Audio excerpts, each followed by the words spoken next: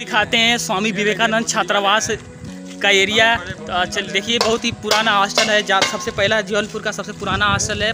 यहाँ पे सीनियर लोग रहते हैं तो देख सकते हैं। इसके अंदर का सब एरिया देखिए, बहुत ही अच्छा है। हमारे छात्र जा रहे हैं। यहाँ पर लिखा है, रैगिंग एक दंडनीय अपराध है। भोजनालय यहाँ पे मतलब भोजन का सेक्टर था।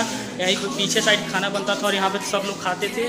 और यही तो इस समय पुराना ज़्यादा हो गया तो अब नए हॉस्टल में खाना बनता है। देख सकते हैं यहाँ पानी पीने की भी व्यवस्था है, फ्रीजर रखा गया है। बहुत अच्छा व्यवस्था है, नया आया है, पुराना था, है, और सब व्यवस्था एक एक नंबर है, देख सकते हो, पंखा वंखा सब लगा हुआ है। तो चलिए और रूम दिखाते हैं एक हॉस्टल का रूम दिखा देते हैं किसी के दोस्तों के अंदर चलते हैं तो देख सकते हैं कि रूम ऐसा आप लोग का यहाँ का रूम पुराना है लेकिन भाई रहने के लिए सबसे बेस्ट है कोई मैं झुकेगा दिक्कत नहीं। देखिए वहाँ पे लिखा है मैं झुकेगा नहीं। तो देख सकते हैं कि यहाँ पे अलमारी लगी है तो अलमारी तीन अलमारी लगी है। तीन अलमारी का मतलब इस रूम में तीन छात्र रह सकते स्टूडेंट रह सकते हैं यहाँ पे लिखा है मैं झुकेगा नहीं। तो देख लीजिए सब व्यवस्था अस्त व्यस्त रखी गई है। मतलब स्टूडेंट। व्यवस्था अस्त व्यस्त करके ही अपनी लाइफ को जीते हैं। तो बहुत अच्छा है हॉस्टल रहने का तरीका। और देखिए यहाँ पे खाने पीने का भी व्यवस्था है तो हम लोग खोल रहे हैं। तो यही रूम है बहुत अच्छा रूम है। तो देखिए कुछ खाने को मिल गया यार। क्या मिला यार? ओ नमकीन मिल गया भाई। टेबल टेनिस का कोर्ट रखा गया है। यहाँ पर टेबल टेनिस खेलने के लिए मतलब कि जो स्पोर्ट होता है स्पोर्ट इवेंट में हम लोग टेबल टेनिस भी खेलते हैं। तो ये बहुत गंदा हो चुका है। मतलब यूज़ नहीं इस समय किया जा रहा है क्योंकि परीक्षा चल रही है तो बच्चे पढ़ने में ध्यान दे रहे हैं इस समय। तो नहीं देख देख सकते हो कि बहुत अच्छा व्यवस्था है। और यहाँ पर देख सकते हो कि यहाँ पे मतलब हॉल है। मतलब जितने बच्चे यहाँ पे रहते हैं यदि हॉस्टल में कोई अपना इवेंट किसी का बर्थडे वर्डे बर्थडे मनाना हो, आदि सब होता है। इसी रूम में होता है। और इसी रूम में बच्चे पढ़, पढ़ाई भी करने चले आते हैं तो ये सब मेन यहीं पर गेम का भी पर्पज है। मतलब गली है देखिए गली बहुत अच्छा है और ये बाहरी फ़ील्ड है यहीं पर मतलब तो थोड़ा गंदा हो गया है यहीं पर बच्चे क्रिकेट खेलते चाहे जो काम करना हो करते हैं तो देखिए बहुत बेस्ट है और ये ऊपर का साइड है तो बहुत ही बेस्ट है देखने में अच्छा लग रहा है बच्चे सब रहते हैं ऊपर और नीचे लेके कमरे रहते हैं लगभग। वो अपने हॉस्टल के ऊपर वाले रूम हैं और कैसे हैं तो चलिए गली में हम लोग ऊपर सीढ़ी के रास्ते पे चल रहे हैं। देख सकते हो कि यही है। ये बाहर का क्षेत्र है सबको गेट को बंद कर देखें कि थोड़ा सा ये ज़्यादा ही पुराना हो गया है तो इसलिए बंद कर दिया गया है। यही है तो चलिए घुमाते हैं आपको।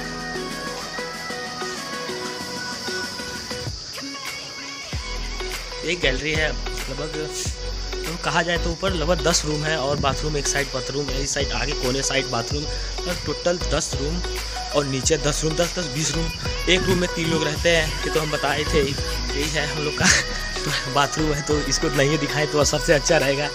चलिए किसी के रूम में चलते हैं। सब लोग का रूम बंद है। किसी का रूम तो खुला है ही तो देखते हैं अपने सबसे अच्छे खासे दोस्त का रूम खुलाते हैं। ए, टिंगू! टिंगू!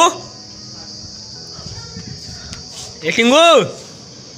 तो देख सकते हो कि इस रूम में एक और दो, देख सकते हो तीन। तीन मतलब अलमारी तीन है तो मतलब कि तीन अलमारी का कहने का मतलब कि यहाँ पे तीन लोग रह सकते हैं। एक क्ला, एक रूम में तीन स्टूडेंट रह सकते हैं, तीन से अधिक भी रह सकते हैं इमरजेंसी केस में। और देखिए, एक रूम के बाहर ये स्पेशल तौर से बनाया गया है। गैलरी भी बनाई गई है, जो यहाँ पे बच्चे आके ज़्यादा गर्मी के समय अच्छे से देखिए तखत वखत लगा के बैठ के यहाँ पे पढ़ाई। तो बहुत ही अच्छा व्यवस्था है यहाँ पे। पुराना हॉस्टल है, बहुत इसका डिज़ाइनिंग जो होता है, बहुत ही बड़े बड़े अच्छे खासे इंजीनियर करते हैं तो बहुत सोच समझ के डिज़ाइनिंग की जाती है तो बहुत अच्छा दिखता है। और रहने का बस थोड़ा पुराना हो गया, लेकिन जो फैसिलिटी है, जिस इसका डिज़ाइनिंग के हिसाब से स्टूडेंटों के लिए बहुत ही अच्छा बनाया गया तो बहुत अच्छा रहा। देख लीजिए, पीछे का साइड है। बस तो बस, चलिए देख लीजिए।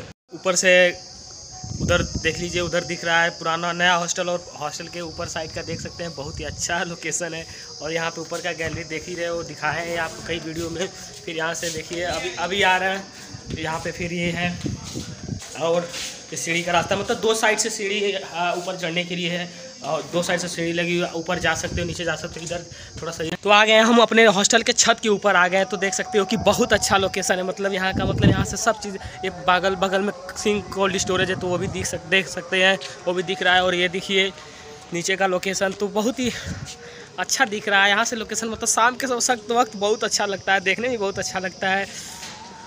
तो यही लोकेशन देख लीजिए, हर दिशा दिखता है और हवा मतलब ऊपर है, दो दो फ्लोर का छत है तो हम लोग का अच्छा है और बहुत अच्छा हवा आता है, शाम के समय बहुत अच्छा लगता है।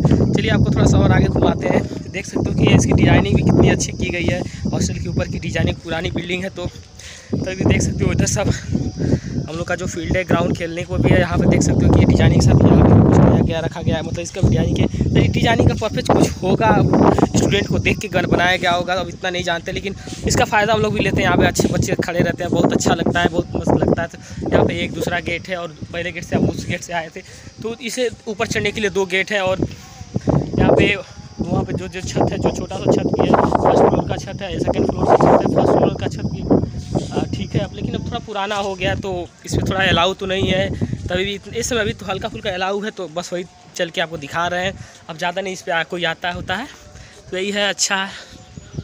बस ये मेरा वीडियो बनाने का पर्पज़ था। देख लीजिएगा आइएगा। यदि आप फ़र्स्ट फाइनल पढ़ने यहाँ पढ़ने आओगे तो आप देखोगे ही कि कैसा अच्छा था। तो भाई ये आपको डिटेल में बताने के लिए बस मैं इस वीडियो को अपलोड कर रहा हूँ कि, कि कुछ आपको जानकारी मिले। वो हम लोग का नया नया हॉस्टल बना है फ़र्स्ट ईयर उसमें फ़र्स्ट ईयर लोग रहते हैं इसमें सेकेंड ईयर और थर्ड ईयर लोग इस पुराने हॉस्टल में रहते हैं। वो भी हॉस्टल के बारे में आपको कभी वीडियो बना के हम दिखा दूँगा। वीडियो कंप्लीट हो गई। अब नेक्स्ट वीडियो में हम पुराने नए हॉस्टल के बारे में आपको दिखाएँगे। तो यही है, बस।